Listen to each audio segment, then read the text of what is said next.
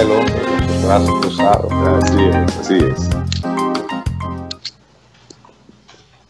Miren, hay un tema, hay un tema de debate que nosotros hemos trabajado poco acá y es el tema de la posibilidad de continuidad del presidente de la República o eh, la posibilidad de crear un mecanismo provisorio, provisional, que organice las elecciones. Lo que se está planteando es que producto de esta situación, eh, independientemente de que las elecciones estén pautadas para el 5 de julio, es probable, es probable, o es una posibilidad que pudiera darse, eh, no es que se está pensando en ella como que se va a dar, sino que pudiera darse, que no haya tiempo de organizar las elecciones y no se pueda eh, ir seguro a votar y entonces haya que posponerla un tiempo, digamos un mes, mes y medio, dos meses, qué sé yo. Eso ya lo decidirían las circunstancias en caso de que se presente. Y el debate que se da es un debate en términos jurídicos, en términos eh, lógicos, en términos jurídicos, en términos constitucionales.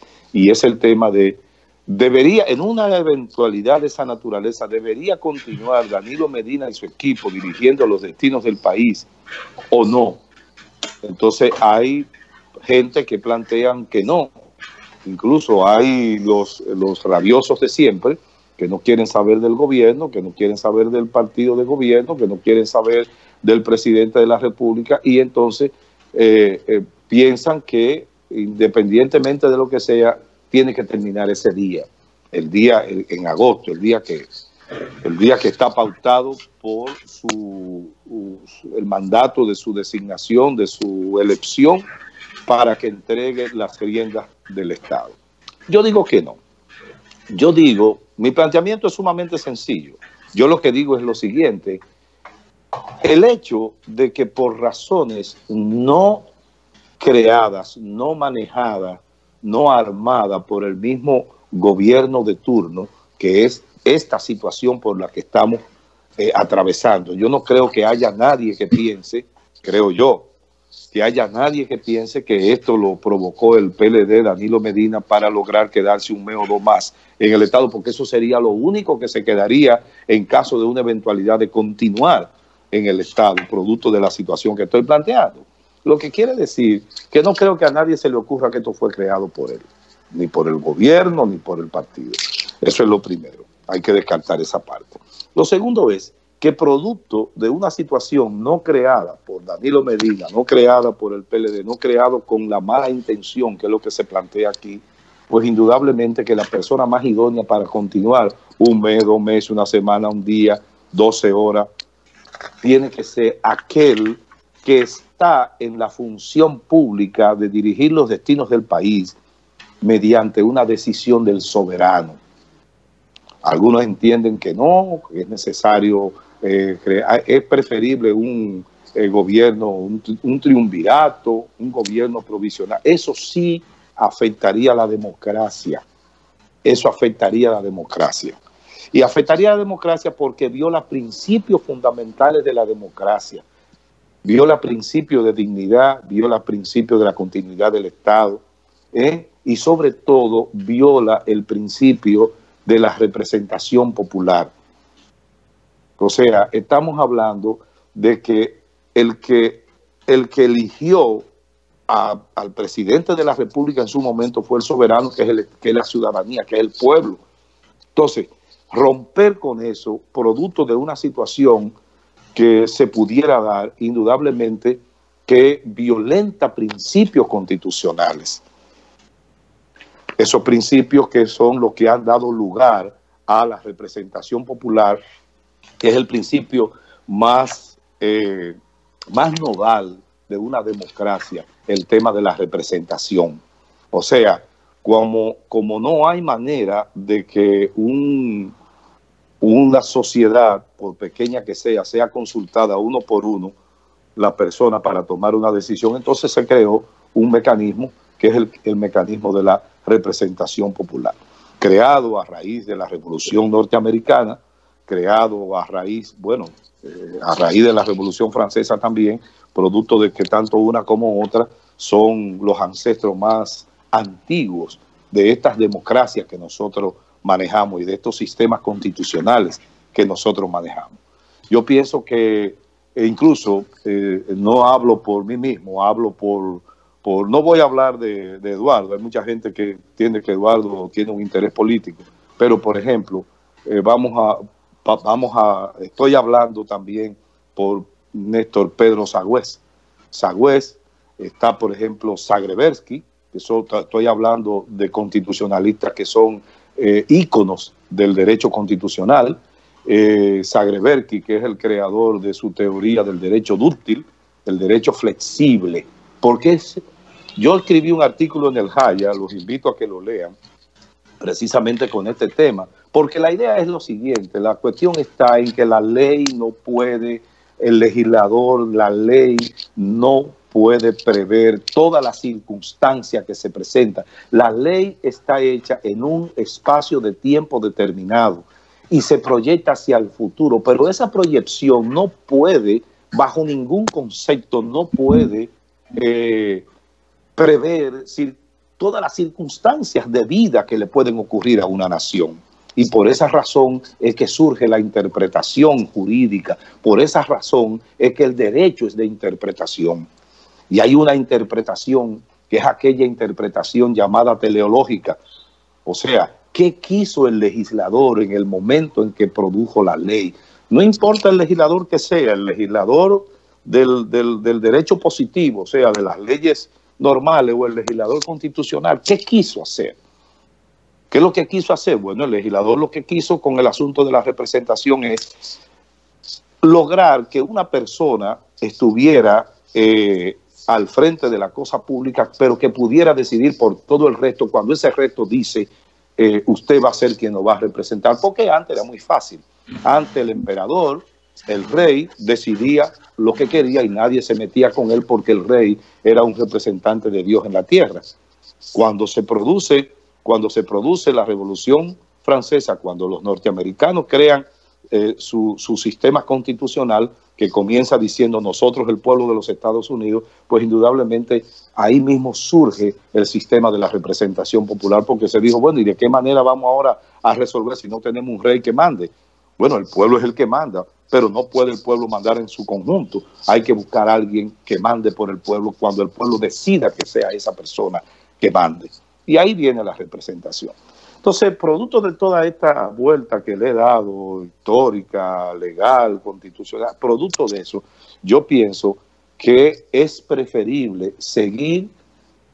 hay un, el, antiguo, el antiguo líder de Francis, el doctor Balaguer, dijo en una ocasión, no es bueno cambiar de caballo cuando se está vadeando un río. Fue una genialidad de Balaguer, porque Balaguer era un hombre vainero.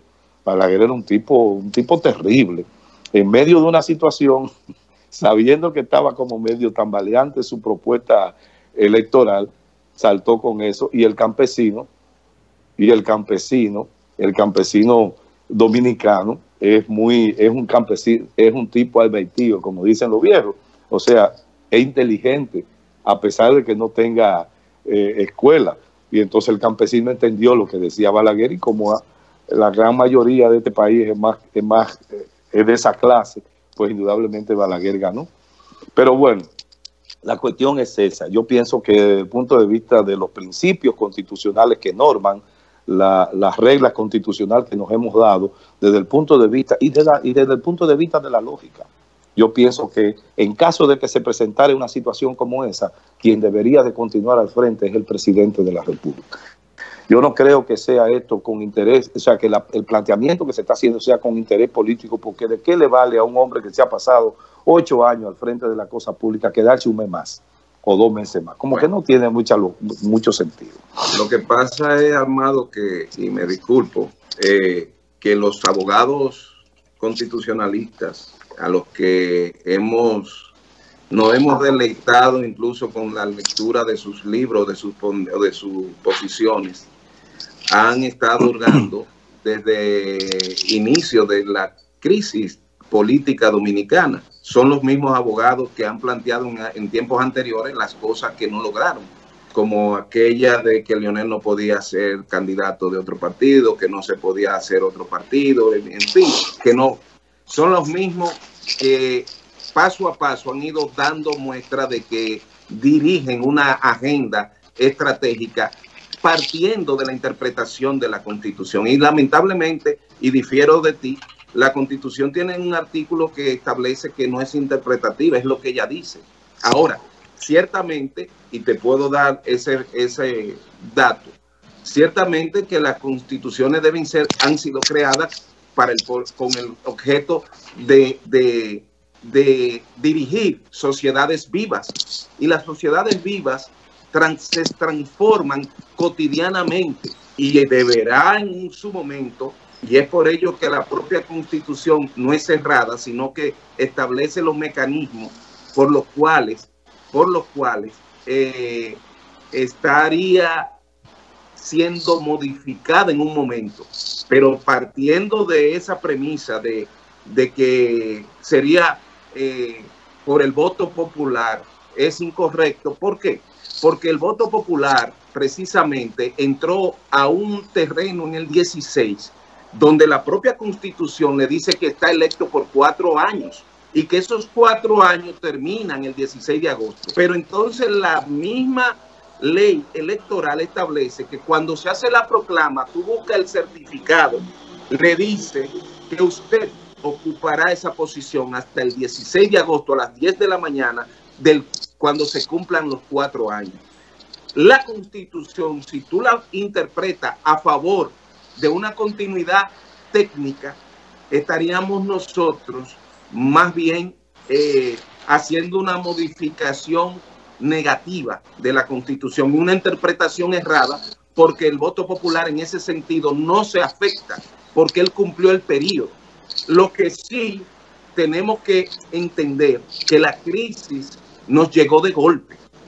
Y que una situación por la cual la, la, el periodo que yo estimo que sí va a haber elección el 5 de julio, que quizás no estemos nosotros apresurando a, a, a, entender cosas que podrían pasar si el 5 de julio, aunque esto está en manos del Estado, si vuelve a producirse una prórroga o unas crisis, se supone que en los datos que tenemos hoy es que nosotros hemos ido avanzando y que se ha reducido el contagio. No es así, ya, ya. Pero hay, hay, otro, hay otro ingrediente que se agrega no es el tiempo que se le, puede, se le podría alargar per se a la persona, a la figura presidencial, sino la ventaja que le podría dar en la condición de estar manejando el Estado a su candidato. A su candidato. Obviamente que es un Estado que ha estado planificado a proyectar un candidato en base a la crisis, que yo lo he criticado, yo he sido el principal crítico de esta, de esta situación. Ahora, en el aspecto constitucional, no no es posible que se haga una interpretación más allá de lo que dice el artículo 271, el 274, el 275. Que Nacer, perdón, quiso hacer una dualidad de, de cuando las autoridades electas por un periodo igual, como son el presidente de la Suprema, la judicatura. Eso sí, eso sí pueden permanecer en el momento. ¿Por qué? Porque quienes eligen a estos individuos es el Consejo Nacional de la Magistratura, que son los electos en un periodo constitucional de cuatro años. Y si a ellos terminó el 16 de agosto próximo, los que están ocupando esas posiciones de elección por parte de los que fueron electos, como en este caso los legisladores y el presidente de la República, que eligen a aquellos, deben esperar que se arme un nuevo equipo gubernamental por elección popular. Hasta tanto, esos permanecerán en el puesto. No se aplica para los electos políticos y para los que ocupan la posición, porque precisamente una de las características que tiene para el control constitucional del poder es esa, lo que, Lamentablemente no tenemos... Tú estás hablando del artículo 275, creo. Correcto.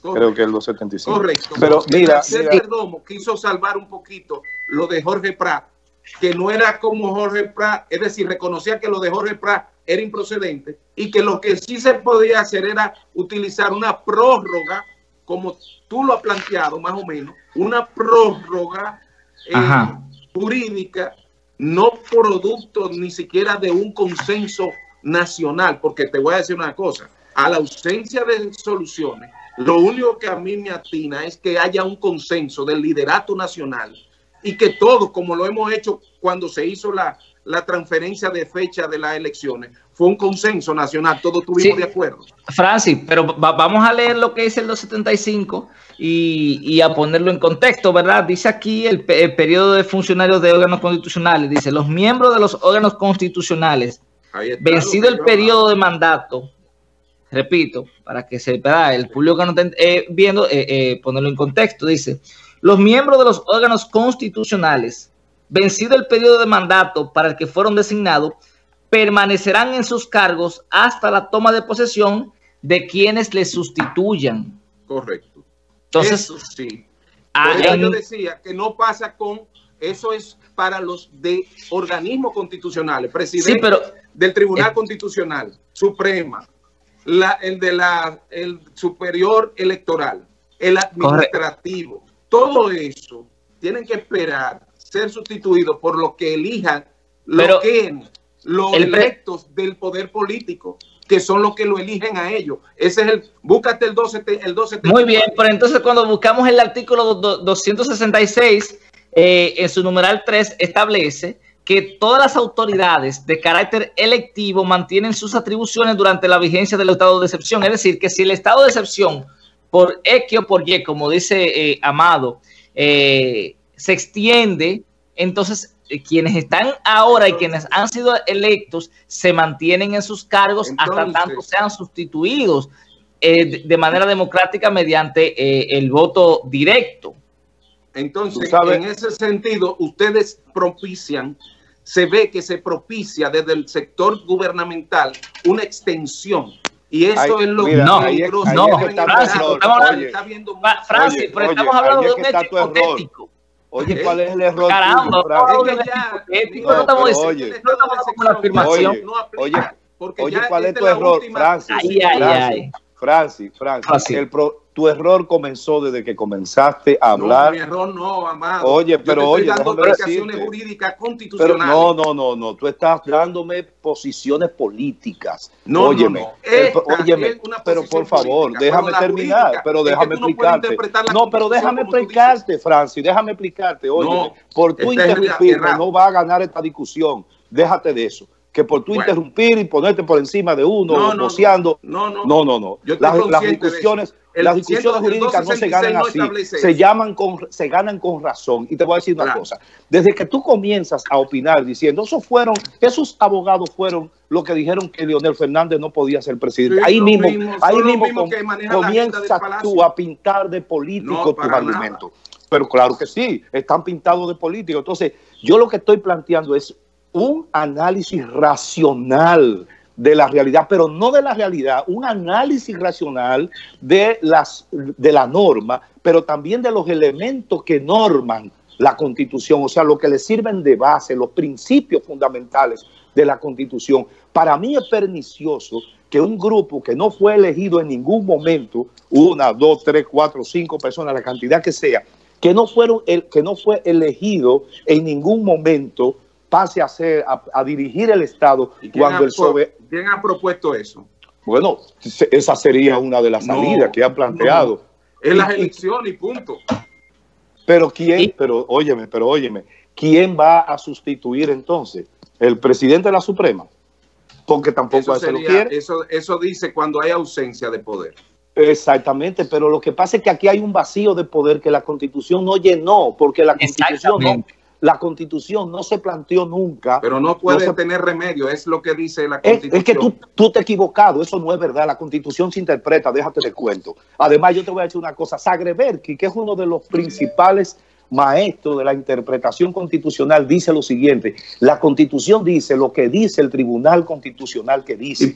Es decir, es decir, es decir, La constitución por sí sola no tiene existencia a menos que el Es Tribunal cierto. Constitucional no la interprete. Entonces es interpretativa, déjate de cuento. Yo te voy Bueno, a pero cuando tú haces la ponderación constitucional para tomar esas decisiones, están basadas en lógicas y en proyectos de conservar la propia constitución. Los mismos tribunales no pueden salirse con excepciones. También dice para la ley del constitucional cuándo puede hacer una interpretación que no sea ajustada a la constitución. Sí, Mira. pero mira, es tan fácil leer el artículo 266 en su, en su numeral. para los electos de, de los de los organismos constitucionales. No, no, no, no, no, espérate un momentito.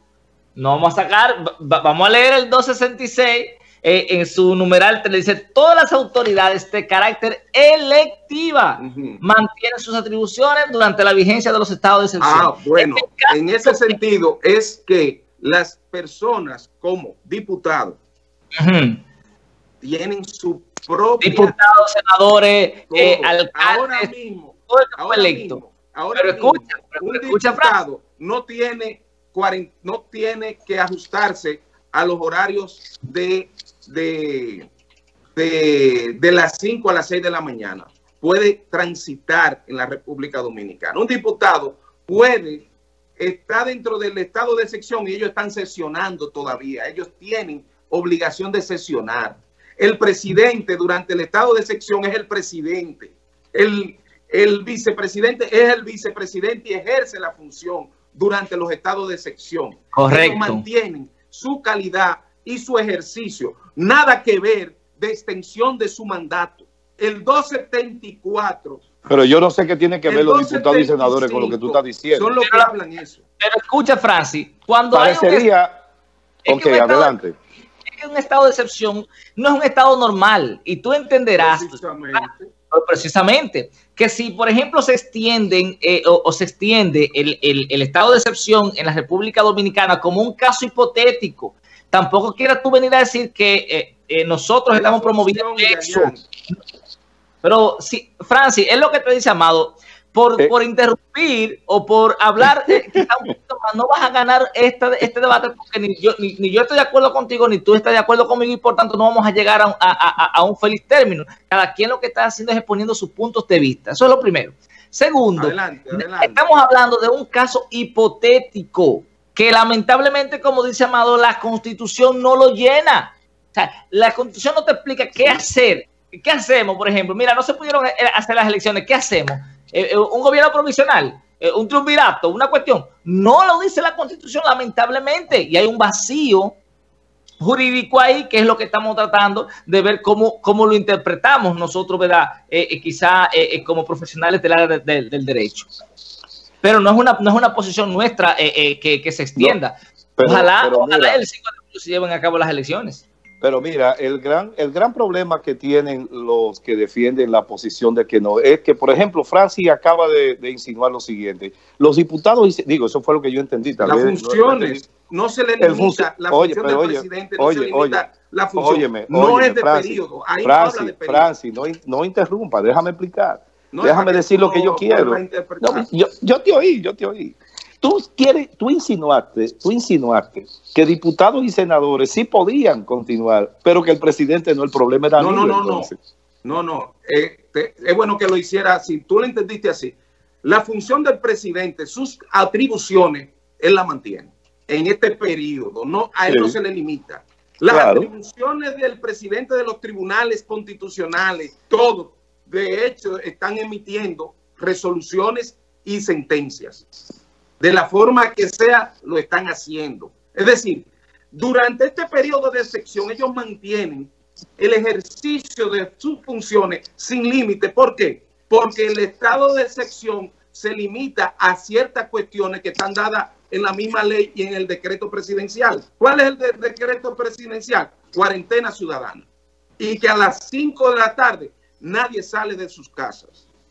Ahora, el mandato de él está el estado de sección en que le permite el ejercicio pleno, sin límites. Otros que no sea que la constitución lo limite. Es decir, que están sujetos a sus mismas condiciones de cotidianidad Pero normal. es, es que esa no es la discusión. grupo. Esa no es la discusión. No, no, Ima- es la imagina- que es contestándole a Yayan con el 266, que no se trata de mandatos. Imagínate de tú, imagínate tú que el- el- el- a, a mediados de junio nosotros volvamos a tener un- una, una situación de contagio grave como la que tuvimos a principio que provocó el estado de excepción. Imagínate tú que eso pase. Eso para Y una que- segunda vuelta. No, y que las elecciones, no, en junio, en junio, porque las elecciones son en julio, ¿verdad? 5 Sí. de julio. Ok, entonces en junio, a mediado, un poquito más de a mediado, se ve un otro brote y, que- y cree una situación de que en julio, día 5, estamos hablando de que faltarían un par de semanas o una semana para las elecciones, que esa fecha no se puedan celebrar y que entonces haya que celebrarla en agosto, cuando el presidente, o en agosto, en septiembre, cuando el presidente ya venció su plazo. Eso es lo que yo planteo, ese es el planteamiento. Ante esa situación yo digo, por los principios constitucionales, ¿eh? del principio de representación, el principio de soberanía popular ejercido y, y- desarrollado en unas elecciones, que es la, la parte más importante y fundamental de las democracias, producto de- del el tema de la dignidad humana, todas esas cosas, lo que hacen, lo que me dicen a mí es, es preferible que siga el presidente que está y no que se haga un triunvirato o que se Pues busque mira. un extraño que venga a dirigir el Estado cuando no fue elegido por el soberano. Es válida tu preocupación. Ahora bien, nada de eso se podría hacer sin un proyecto de acuerdo nacional. No, yo pienso que no. Yo lo que pienso que debía de hacerse es un, una, un- solicitarle al Tribunal Constitucional una interpretación de una situación como esa. Tendrá que ajustarse y- a lo que dice la Constitución, de lo contrario estaría haciendo una modificación. No, no, no, no, no, no. Él, no, no. No, él no, no, es que, es que él no va a modificar artículo, él va a interpretar lo que dice la Constitución. Bueno, porque es eso es que lo el hace un artículo no es interpretativo, es Si que no, la no, misma que- Constitución dice que no es interpretativa, que que es lo no, que dice la no es letra. verdad, no es verdad, no es verdad. Nosotros Tiene que haber. en la es ponderación, amado, existe lo que es la ponderación. Entonces, Que esa interpretación, Francis, cuando tú Pre- ponderas, ¿qué es lo que tú ponderas? Derechos fundamentales. ¿Y qué Sí. son derechos fundamentales? Derechos Bueno, constitucionales. Tú le haces Entonces, el test de, tú le haces el test de constitucionalidad. Al hacerle el test de constitucionalidad que sea útil, ¿eh? que sea provechoso, que sea eh, verdaderamente ajustado a la norma, el tribunal se va a abocar a una decisión ajustada a lo que dice la constitución, pero no podrá modificar ni transformar su interpretación tácita, porque es que la misma constitución limita para que no haya interpretación. Ahora, hay ejercicio de nosotros los humanos y de las propias autoridades en el ámbito administrativo que generan dificultad, que se ven obligados a, a ser interpretadas por una situación X. Ahora, esa es nuestra constitución. En tiempo de crisis no teníamos, no tenemos un procedimiento, ciertamente, que en lo que estoy de acuerdo contigo y es válida tu preocupación. Francis, Bueno, tiene una bueno. pregunta para, para- para cerrar. En el Sí. caso yo lo, de- yo, yo lo dejo pueda- aquí ya. eh, eh, sí, en el caso hipotético de media hora en es fácil, es fácil. En el caso hipotético de que no se no se pudiera. Oye, Francis, estoy hablando de un caso hipotético. Sí, para que sí. después no digan que yo estoy promoviendo No, no, que, no, que- no, no, no, no, Estoy hablando de un caso hipotético. ¿Verdad? Eh, como lo que le ponen a uno a- a- en la universidad, que es una casuística, ¿verdad? Eh, no se pudieron eh, celebrar las elecciones en julio. ¿Qué tú propones que se haga? Yo lo voy a dar en mi tema Ok, está bien. para cerrar ahí. Qué bueno. Quedó Qué ahí. bueno. Me hubiese gustado que lo dijera ahora. ¿Qué tú, qué tú propones que se haga? Yo lo voy a hacer en mi tema para darle eh, una Sí, no, está bien. porque voy a hacer críticas Adelante. Ok, adelante. al- a los abogados que han propuesto eh, tanto lo de Jorge Prat como de Nacer Perdón. Con el mismo derecho Bien. que tienes tú de, de- de proponer lo contrario. Eh, Ese es el derecho. El problema es que el tinte Pero tiene que partidario, tener el lógica tinte, jurídica el ahí.